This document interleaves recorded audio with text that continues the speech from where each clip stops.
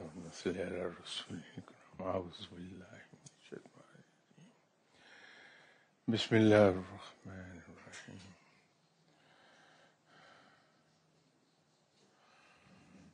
السلام عليكم خواتيم الأولاد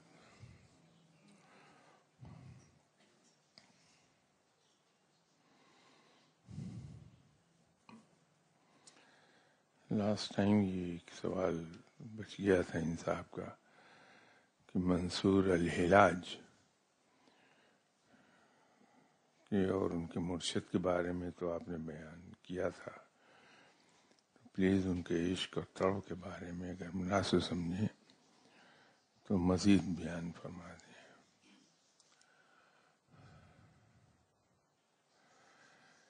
ان کے بارے میں ایک روایت جو مشہور ہے۔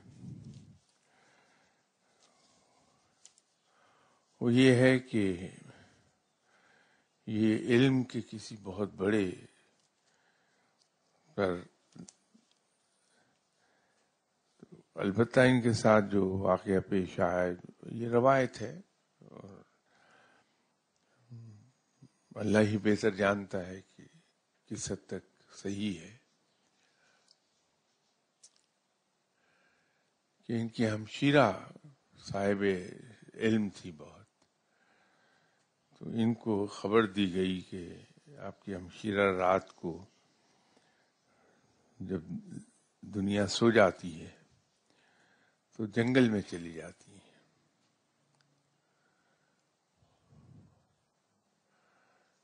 تو یہ جاگتے رہے اور لیکن پریٹینڈ یہی کرتے رہے کہ سو رہے ہیں۔ تو انہوں نے دیکھا کہ ان کی مشیرہ محترمہ اٹھی اور اٹھ کے گھر سے باہر نکل گئی تو یہ ان کے پیچھے پیچھے گئے۔ دیکھا کہ جنگل میں جا کے ایک جگہ کچھ کلیئرنگ تھی۔ وہاں بیٹھ گئی اور اللہ کے ذکر میں مشغول ہو گئی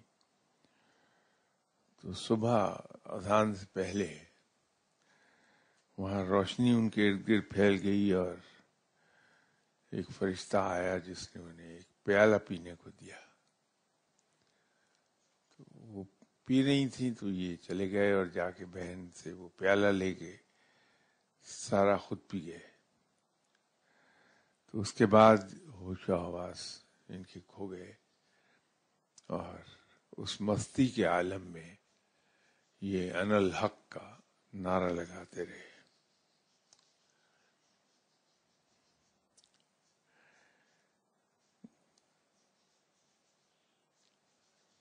میں ایک بات ہمیشہ عرض کرتا ہوں، یہاں بھی یونیورسٹیز میں لیکچر پہ بھی اور ٹی وی پروگرامس میں بھی، کہ تصوف میں پڑھے لکھے ذہن میں جو شکوک اور شبہات پیدا ہوتے ہیں تصوف کے بارے میں وہ غالباً ایسی ہی روایات کو پڑھ کے یہ چیز آتی ہے۔ لیکن اگر ہم انہیں، ان روایات کو کچھ اس طرح سے لینا شروع کر دیں کہ یہ روایات در حقیقت کسی بھی بات کو آسان کر کے سمجھانے کی خاطر ہے۔ تو جیسے ترکی کے ایک بڑے وائز مین گزرے ہیں، مولانا نصر الدین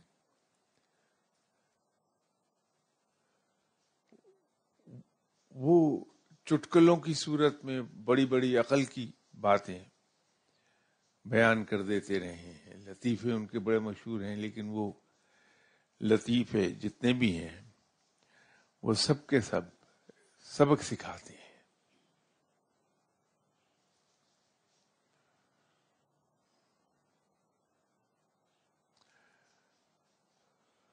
مثلا ان کا ایک قصہ ہے کہ جس زمانے میں ملا نصر الدین ہوئے ہیں، اس زمانے میں ترکی میں گدھا سواری کے طور پہ بڑا استعمال ہوتا تھا اور قافلے سفر کرتے تھے گدھوں ہی پر۔ تو ملا نسردین اپنے گدے پر سوار جا رہے تھے۔ تو گدھے کی ایک عادت ہے کہ اگر پہلے سے گزرے ہوئے گدھے کی ڈراپنگز پڑی ہوں تو وہ وہاں رک کے سونگتا ضرور ہے۔ اب وہ گدا تھوڑے تھوڑے فاصلے پر چونکہ قافلے کی راہ گزر تھی تو وہاں گدھوں کی ڈراپنگز پڑی ہوئی تھی تو تھوڑے تھوڑے فاصلے پر گدا رکتا تھا، سونگتا تھا اس کو سونگنے کے لیے نیچے جھکتا تھا۔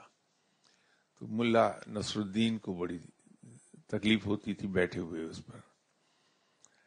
تو جب تنگ آ گیا ملا نصر الدین، تو اپنے نیچے اترے، اپنے سامان میں سے ایک تھیلا نکالا۔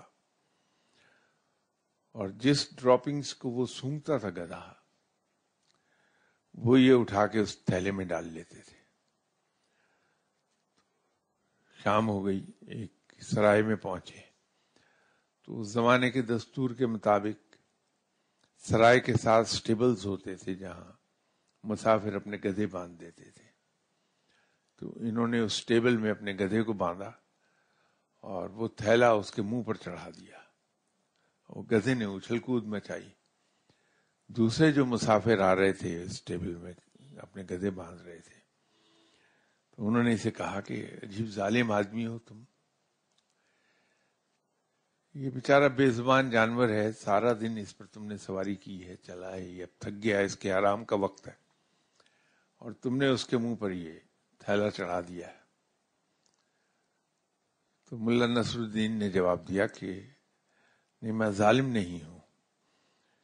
بات یہ ہے کہ یہ جو گدے کی ڈراپنگز ہیں، یہ سلیکٹ اس نے کی ہیں، میں نے تو صرف انہیں اکٹھا کر کے اس کے منہ پہ چڑھا دیا۔ تو چونکہ یہ سلیکشن اس کی ہے تو اب اس کے اسے بھگتنا چاہیے۔ اب یہ ہے تو ایک جوک نما حکایت، لیکن اس میں ایک بڑا سبق چھپا ہوا ہے کہ انسان کو سلیکشن کرتے وقت چیزوں کی محتاط رہنا چاہیے کہ غلط چیزیں نہ چن لے، کہ بعد میں اس کو خود اس سے تکلیف ہوگی۔ وہ ایک سبق ہے۔ تو یہ ملا نصر الدین کا ایک انداز تھا۔ اسی طرح مولانا روم نے حکایات کے ذریعے سے بڑی بڑی عقل اور پتے کی باتیں سکھائی ہیں۔ تو تصوف میں یہ جو اس قسم کی چیزیں آ گئیں، یہ بھی میرا اپنا اندازہ ہے کہ یہ اصل میں تعلیم دینے کے لیے یہ حکایات ہیں۔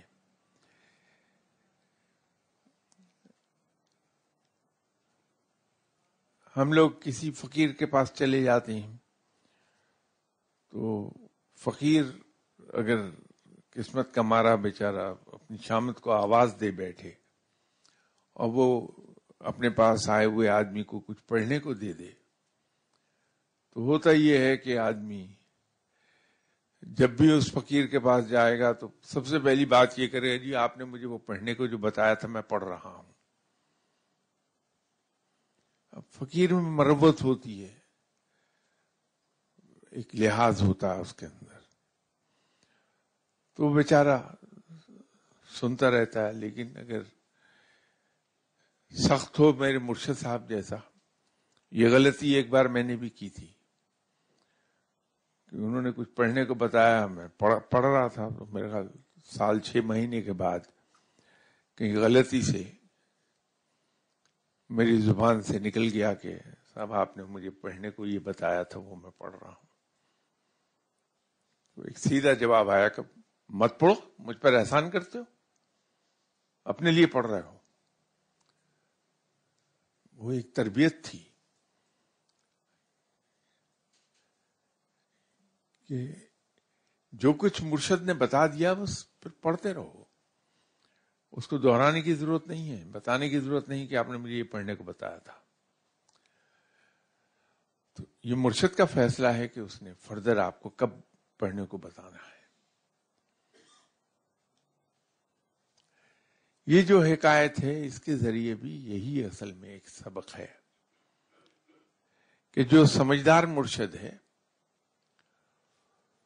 وہ اپنے شاگرد کو بہت میئر نپی تلی ڈوز میں ڈوز دیتا ہے علم کی، جس کو وہ آسانی سے ایبزارب کر لے۔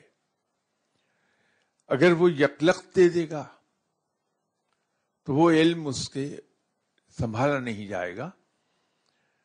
نتیجہ یہ ہوگا کہ وہ لوگوں کے سامنے بیان کرے گا کہ میرے پاس یہ ہے، میں نے یہ دیکھا، میں نے وہ دیکھا، میں نے یہ ایکسپیرینس کیا میرا۔ جو اس کی رسوائی کا سبب بن جائے گا۔ تو اگر میت ڈوز ملے گی اسے، یہ بالکل ایسے ہی ہے کہ ہم ہمیں والدین اسکول میں داخل کراتے ہیں کہ ہمارا بیٹا فلاں سبجیکٹ میں ماسٹرز کر کے تو یہ جاب پر چلا جائے گا۔ تو وہ پری اسکول سے شروع ہوتا ہے بچہ۔ رفتہ رفتہ علم حاصل کرتا رہتا ہے اور ایک ایک سٹیپ اوپر چڑھتا جاتا ہے۔ حتیٰ کہ وہ پھر ماسٹرز کر لیتا ہے۔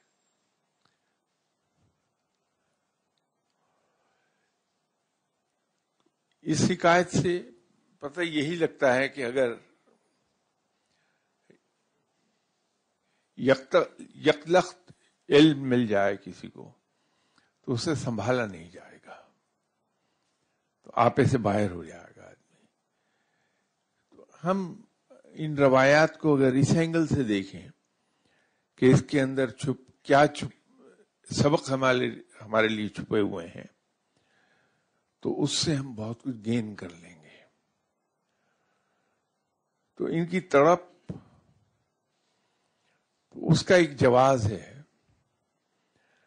کہ یہ گائیڈنس کے اس مقام پر چلے گئے، بغیر گائیڈنس کے اس مقام پر چلے گئے تھے، جو ان سے پھر سنبھالا نہیں گیا اور آپے سے باہر ہو گئے اور اپنے آپ نعرے لگاتے رہے ان الحق کے۔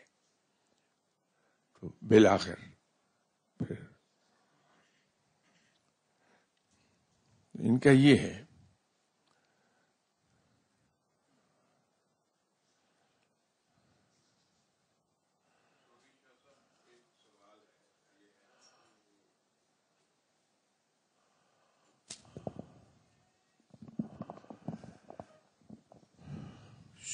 شاہ صاحب یہ میئر ڈوز سولہ سال کے بعد پری اسکول شروع ہو کے تو سولہ سال کے بعد وہ ماسٹر کی ڈگری مل جاتی ہے۔ تو یہ میئر ڈوز ہم کتنے سال لیتے رہیں گے؟ اور پیر اور فقیر کے اوپر یہ سوسائٹی ڈپینڈ کرتی رہے گی۔ شاہ صاحب خواجہ غریب نواز یہاں آئے داتا گنج بخش آئے بابا فرید آئے مولانا روم نے بھی بڑی تعلیمات دی۔ آج کل بہت سے مدرسے بھی کھلے ہوئے ہیں۔ انہوں نے بہت سے غیر مسلم کو اسلام میں مسلمانوں میں کنورٹ کیا، لیکن کوالٹی بگڑتی ہی گئی، بگڑتی گئی، نیچے رہی۔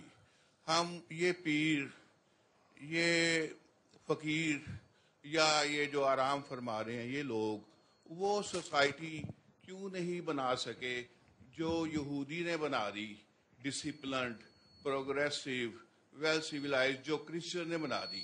یہ کیوں؟ اور یہ سلسلہ کب تک؟ How long will be dependent یہ شاہ صاحب۔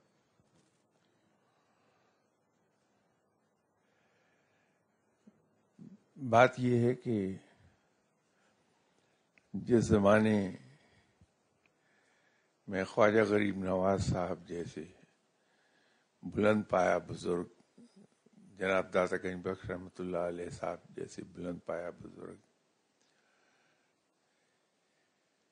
یہ گزرے ہیں اس زمانے میں، مسلمانوں کا حال یہ نہیں تھا جو آج ہے۔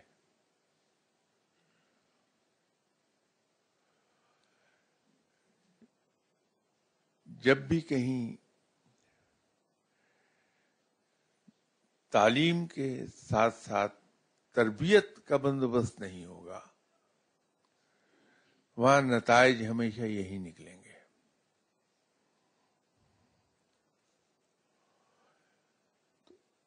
انفارچونیٹلی ہوا یہ ہے کہ ہمارے یہاں تعلیم تو رہ گئی لیکن تربیت غائب ہو گئی۔ یہ جو میئر ڈوز اور سولہ سال کی تعلیم اور اس کے حوالے ہیں، وہ اصل میں ہے ہی تربیت کے ریفرنس سے کہ ساتھ ساتھ تربیت کی جاتی ہے۔ تو جب ہم کسی فقیر کے پاس جاتے ہیں تو وہ تعلیم سے زیادہ تربیت پر زور دیتا ہے اپنے پاس آنے والوں کی۔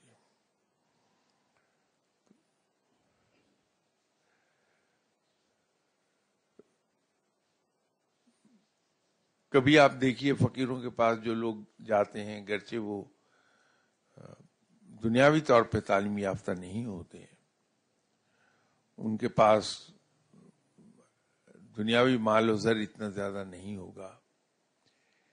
لیکن آپ انہیں سمہا اور دی ادر بہت اعلی قسم کے انسان پائیں گے۔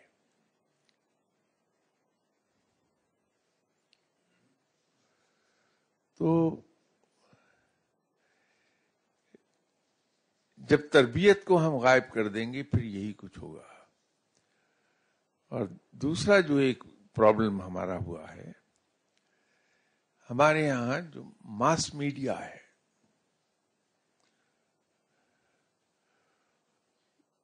وہ بڑا افیکٹو ہے، اور وہ ہمارے یہاں جو ماس میڈیا وہ ہے مسجد کا ممبر۔ مسجد کے ممبر سے جو تعلیم ہم ڈش آؤٹ کریں گے وہ بہت اثر رکھتی ہے۔ مسجد کے ممبر سے جو ہم نے تعلیم دینی شروع کی، وہ تو اس طرح سے کر دی کہ اسلام کا جو ریچولس کا حصہ ہے، عبادات کا حصہ ہے، ہم نے صرف اسی پر زور دیا ہے مسجد کے ممبر سے۔ لیکن جو زیادہ بڑا حصہ ہے دین کا، وہ ہے دوسروں کے ساتھ انٹریکشن اس پر زور بالکل نہیں ہم نے دیا۔ نتیجہ یہ ہے کہ رفتہ رفتہ، بڑے غیر محسوس طریقے سے ہم نے دین کو دو حصوں میں تقسیم کر لیا۔ ایک تو عبادات کا حصہ ہے ریچولس کا حصہ ہے۔ اور دنیا کو وہ دین سے علیحدہ کر کے لے گئے ہم۔ جبکہ دین میں، دین اسلام میں، ہماری دنیا بھی پابند ہے دین ہی کی۔ جو ہمارے انٹریکشن ہے جو کاروبار زندگی ہے ہمارا وہ پابند ہے دین کا۔ وہاں ہم چھوڑ گئے چیزوں کو۔ اپنا ذرا سا کام نکلوانے کے لیے ہم بے دریغ جھوٹ بول دیں گے، دھوکہ دے دیں گے۔ اور اس کو برا بھی نہیں سمجھیں گے۔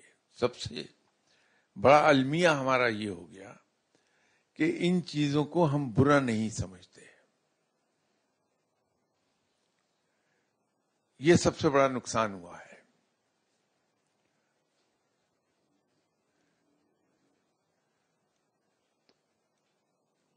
ہونا یہ چاہیے کہ ممبر کو ہم استعمال کریں، مسجد کے ممبر کو۔ اور وہاں سے ہم تربیت کا عنصر لائیں اپنی گفتگو میں، جس کے ذریعے سے ہماری تربیت ہو کہ ہماری دنیاوی زندگی پابند ہو دین کی، جو دین نے اصول دیے ہیں، ہماری دنیاوی زندگی اس کی پابند ہو جائے۔ ہمارے پاس تو سب سے بڑا ایک لائٹ ہاؤس موجود ہے۔ جیسے سمندر میں، طوفان میں جہازوں کو راستہ دکھانے کے لیے لائٹ ہاؤسز ہوتے ہیں۔ ہمارے پاس دنیا کا عظیم ترین لائن لائٹ ہاؤس ہے، وہ ہے آپ صلی اللہ علیہ وسلم کی حیات طیبہ، سنت، سیرت۔ تو اگر ہم دنیاوی زندگی کو ان لائنز پر لے جائیں، تو بہترین دنیاوی زندگی ہو جائے گی۔ تو پھر یہ گلا نہیں ہوگا۔ کہ یہ سب کچھ ہونے کے باوجود گلی گلی، محلہ محلہ، درس ہونے کے باوجود ہم کدھر کو جا رہے ہیں؟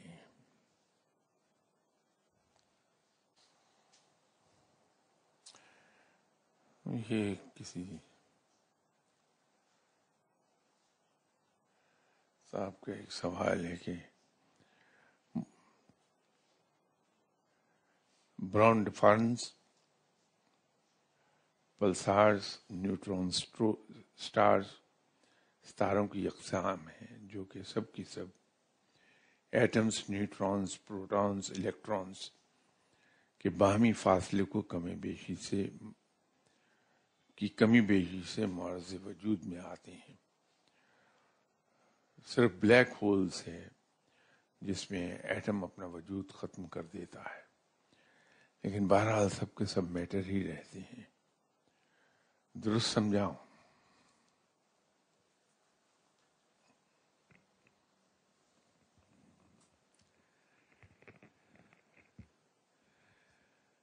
آپ بالکل درست سمجھے ہیں۔ صرف اس کے اندر ایک چیز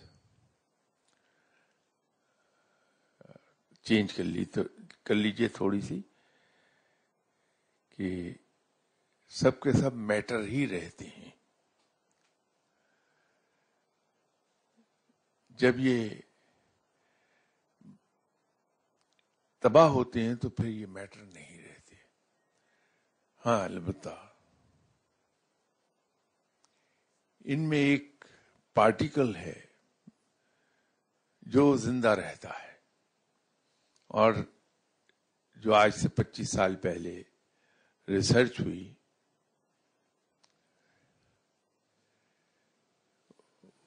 اس کے مطابق وہ پارٹیکل تباہ نہیں ہوتا۔ وہ ہر حال میں زندہ رہتا ہے، قائم رہتا ہے۔ اس لیے سائنٹسٹ حضرات نے اس کا نام گاڈ پارٹیکل رکھا۔ اس کو فنا نہیں ہے۔ باقی سب چیزوں کو فنا ہے۔ تو آپ بالکل درست سمجھے ہیں، صرف یہ ذرا سی کریکشن کر لیجیے کہ میٹر قائم نہیں رہتا میٹر تباہ ہو جاتا ہے۔ البتہ ایک پارٹیکل ہے اس کے اندر، جس کو سائنس نے نام دیا ہے گاڈ پارٹیکل کا۔ وہ فنا نہیں ہوتا، وہ قائم رہتا۔ ہے اس لیے اس کو سائنٹسٹ حضرات نے گاڈ پارٹیکل کا نام دیا۔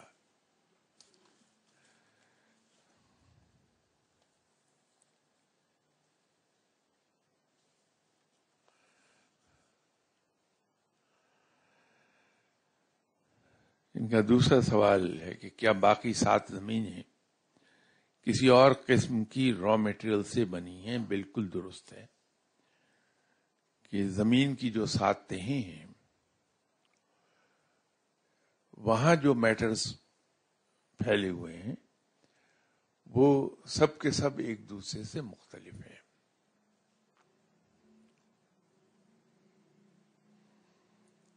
تیسرا ان کا سوال یہ ہے کہ صدرت منتہا کو کراس کرتے وقت آپ صلی اللہ علیہ وسلم نے اس میٹریلسٹک فارم کو فوقیت دی کیوں؟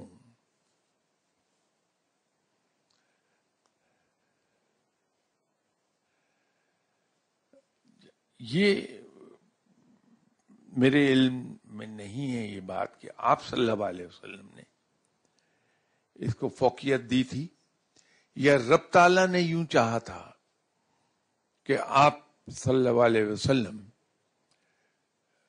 عرش پر تشریف لے جائیں اپنے دنیاوی جسم کے ساتھ؟ میری انڈرسٹینڈنگ میں یہ ہے کہ رب تعالیٰ نے یوں چاہا تھا کہ وہ اپنے محبوب صلی اللہ علیہ وسلم کو اپنے پاس بلا لیں، مجسم حالت میں۔ اور وہاں ہم کلام، ان کے، اللہ کا محبوب صلی اللہ علیہ وسلم، مجسم حالت میں وہاں ہم کلام ہو جائیں۔ لیکن یہ میرے علم میں نہیں ہے کہ آپ صلی اللہ علیہ وسلم نے اسے فوقیت دی تھی۔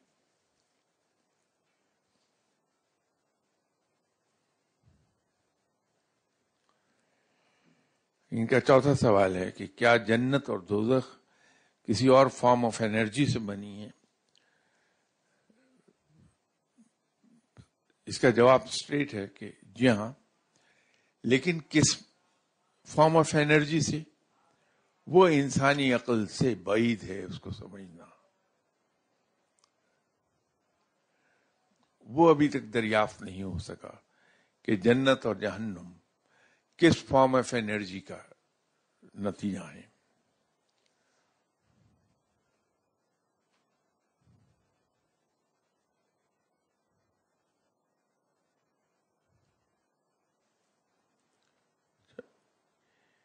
یہ ان کا پانچواں سوال ہے کہ کیا قیامت میٹرل فارم آف یونیورس میں آئے گی یا تمام اقسام کی تخلیقات میں؟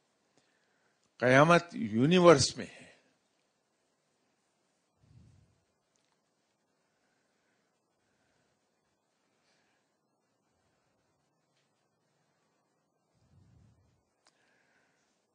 آپ صلی اللہ علیہ وسلم آل فارمز آف کریشنس کے لیے محبوس ہوئے۔ آپ بشری لباس میں ہمارے پاس تشریف لائے اور باقی فارمز آف کریشن میں بھی محبوس ہوئے ہوں گے۔ آپ صلی اللہ علیہ وسلم کی کریشن ہوئی ہے نور سے۔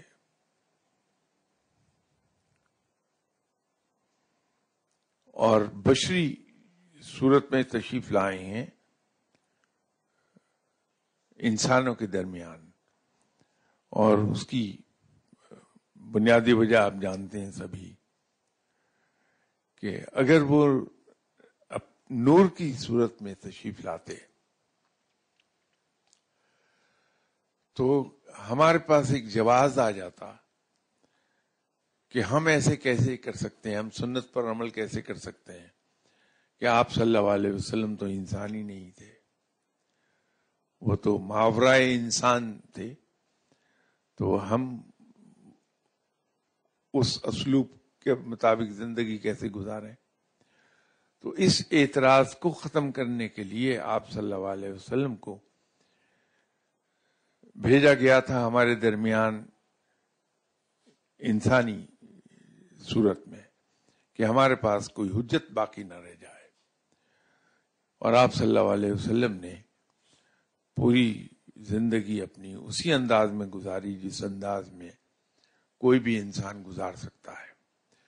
یہ اور بات ہے کہ ایک آدھ مرتبہ فرما دیا کہ اگر میں چاہوں تو کوہ اوہد پورے کا پورا سونے کا ہو جائے۔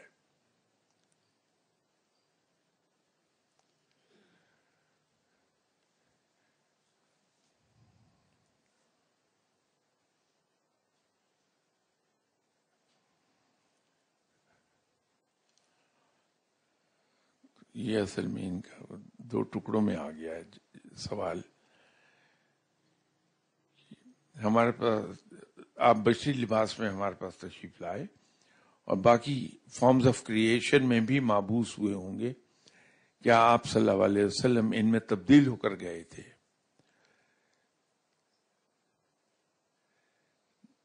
دیکھیے، آپ صلی اللہ علیہ وسلم تمام عالموں کے لیے رحمت ہیں، یہ یاد رکھیے۔ رحمت ہیں دو سینس میں آپ مہربان صرف انسانوں کے لیے نہیں ہے وہ جتنی تخلیق ہے رب تعالی کی، جو درند پرند چرند نباتات جماعتات ان سب کے لیے آپ صلی اللہ علیہ وسلم رحمت ہیں۔ ایک تو آپ صلی اللہ علیہ وسلم کا رویہ جانوروں کے لیے بھی بڑے مہربان تھے، درختوں کو نقصان پہنچانے سے منع فرمایا۔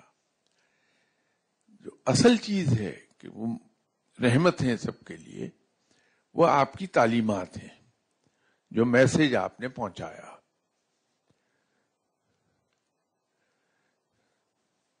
تو مابوس ہونے کا مسئلہ نہیں ہے کہ ان تخلیقات میں آپ صلی اللہ علیہ وسلم کس مہم میں گئے؟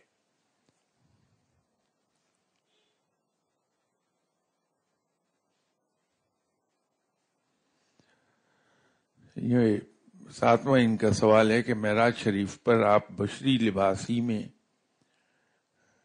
گئے یا باقی لباس میں بھی معراج ہوا؟ آپ صلی اللہ علیہ وسلم کا معراج بشری صورت ہی میں ہے۔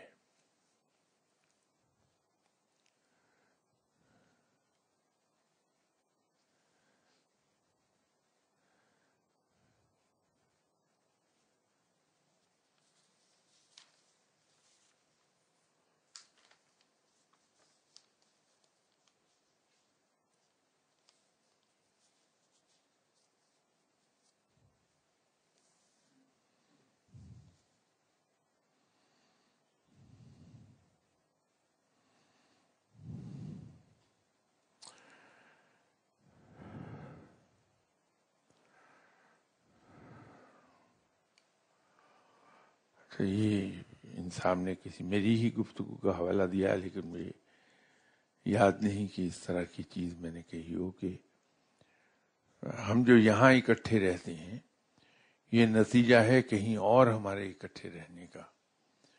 جتنی چیزیں یہاں پیش آتی ہیں، یہ نتیجہ ہے کہیں اور عمل پیش آنے کا۔ اس کے نتیجے میں یہاں یہ کارخانہ چلتا دکھائی دیتا ہے۔ اس عالم الاسباب کا کاروبار در حقیقت انڈیپینڈنٹ نہیں ہے۔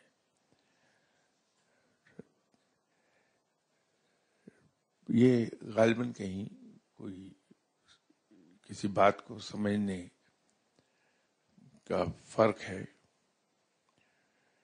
یہ اکٹھے رہنے کی بات تو میں نے ضرور کہی ہوگی کہ تمام روحیں عالم دنیا میں آنے سے پہلے عالم الارواح میں اکٹھی ہوتی ہیں۔ تو جو جو جس روح سے متعلق جسم دنیا میں وجود میں آتا ہے، اس روح کو عالم ارواح سے روانگی کا حکم ہوتا ہے اور فرشتہ اس جسم میں اس روح کو داخل کر دیتا ہے۔ یہاں ہم انڈیپینڈنٹلی اپنی ایک زندگی گزارتے ہیں۔ اور جب ہمارا جسم جسم فنا ہوتا ہے، موت آتی ہے ہمیں، تو روح پھر عالم برزخ میں چلی جاتی ہے۔ وہاں پھر اکٹھی رہتی ہیں روحیں، مختلف اس کے درجات ہیں۔ تو اپنے اعمال کے مطابق وہاں اکٹھی ہوتی ہیں روحیں۔ یہ تو میں نے ضرور کہا ہوگا۔ اور دوسرا یہ جو ہے کہ جتنی چیزیں یہاں پیش آتی ہیں، نتیجہ کہیں اور عمل پیش آنے کا، یہ غالباً اس کو یوں لکھا ہوا آپ کو مل جائے گا کہ دنیا میرے نزدیک آخرت سے زیادہ اہم ہے، صرف اس لیے کہ میری آخرت کا دار و مدار اس بات پر ہے کہ جس قسم کی زندگی میں نے یہاں گزاری ہے، جو میرے اعمال یہاں رہے ہیں، اس پر بیسڈ میری ابدی زندگی ہوگی۔ تو چونکہ میری ابدی زندگی نے یہاں کے اعمال کے مطابق ہونا ہے، اس لیے میں یہ کہتا ہوں کہ یہ دنیا یوں آخرت سے کہیں زیادہ اہم ہے کہ میں جیسے اس دنیا کو گزار کے جاؤں گا، مجھے ایسی ہی ابدی زندگی ملے گی۔ اس لیے کہ ابدی زندگی کا فیصلہ رب تعالیٰ میرے اعمال پر بیس کر کے کرے گا۔ اور اس میں کوئی شک نہیں کہ اس میں اس کی رحمت، اس کی مہربانی وہ شامل ضرور ہوگی، لیکن اعمال کنسیڈر ہوں گے میرے۔ تو اگر میں یہ چاہتا ہوں کہ مجھے ایک بہتر ابدی زندگی مل جائے، تو مجھے پھر دنیاوی زندگی کو بہتر کرنا ہوگا۔ یوں میں یہ عرض کرتا ہوں کہ جو کچھ آخرت میں ہمارے ساتھ پیش آئے گا، وہ نتیجہ ہوگا اس ان اعمال کا جو ہم یہاں سرزد ہمارے یہاں ہوتے ہیں۔ تو اس لیے اس پر ہمیں بہت توجہ دینی چاہیے کہ ہماری یہاں کی زندگی بہتر ہو تاکہ ابدی زندگی بہتر ہو جائے۔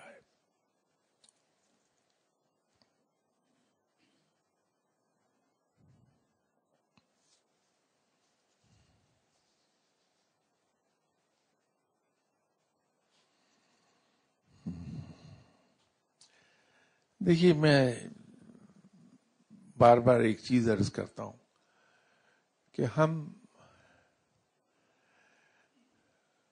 کھیل کے وقت پڑھائی کو دخل نہ دیں، تعلیم کے وقت کھیل کو دخل نہ دیں۔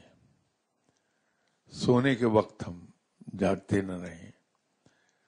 کہنے کا مقصد یہ ہے کہ جو جو چیز جہاں جہاں مخصوص ہے، صرف اسی میں کریں۔ یہ اس کا تعلق ہماری اجتماعی چیزوں سے ہے جو یہ گیدرنگ ہوتی ہے۔ تو ہم دعاؤں کے لیے اس گیدرنگ کو استعمال نہ کریں۔ دعاؤں کا سیشن بعد میں ہوتا ہے۔ تو ہم دعا کے لیے اس میں اگر آ جائیں تو زیادہ بہتر ہے۔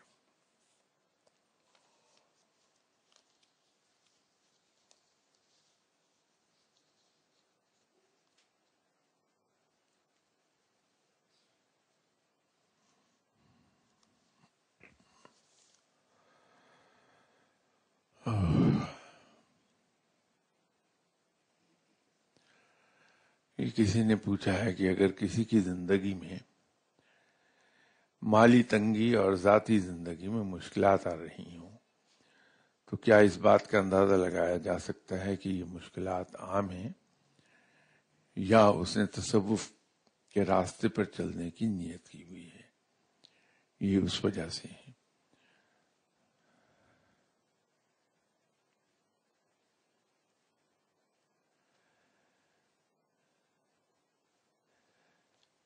زیادہ تر اس کی، اس قسم کی چیزیں جیسے رب نے قرآن میں فرمایا کہ انسان پر کوئی مصیبت نہیں آتی ماسوائے اس کے اپنے ہاتھ کے۔ ہم مشکلات کا شکار ہو جاتے ہیں اپنی بے تدبیری سے۔ غرض سے مغلوب ہو جاتے ہیں اور اس راستے پر چلے جاتے ہیں جہاں مشکلات آ جاتی ہیں۔ لالچ میں پڑ جاتی ہیں۔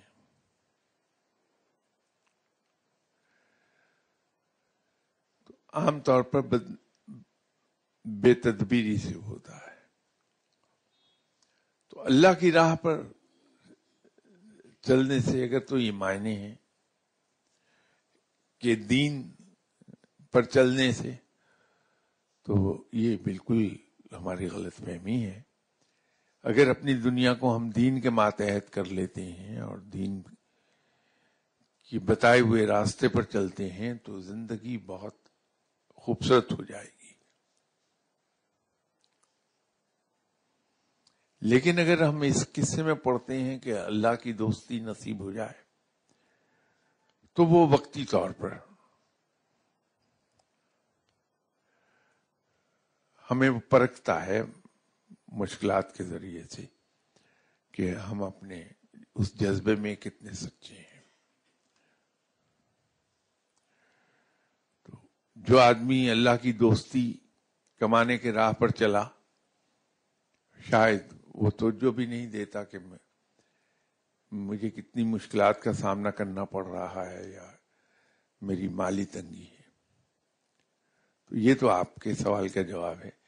لیکن اپنی طرف سے میں یہ عرض کر رہا ہوں کہ ہم اس مالی تنگ دستی سے اتنے گھبراتے کیوں ہیں؟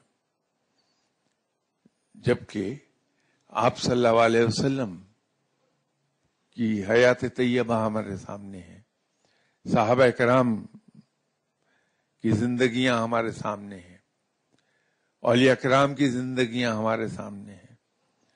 مزے کی بات یہ ہے کہ میں چاہتا یہ ہوں کہ میں ولی اللہ بن جاؤں۔ لیکن جب ان کی زندگیوں والا معاملہ مجھے پیش آتا ہے، تو میں گھبرانے لگتا ہوں۔ ایک کشتی میں پاؤں مجھے رکھنا چاہیے، نہ کہ دونوں کشتیوں میں۔ دو کشتیوں میں پاؤں رکھ کے انسان عام طور پر گرتا ہے۔ ان شاء اللہ تعالی باقی سوالات کا جواب آئندہ نشست میں السلام عليكم.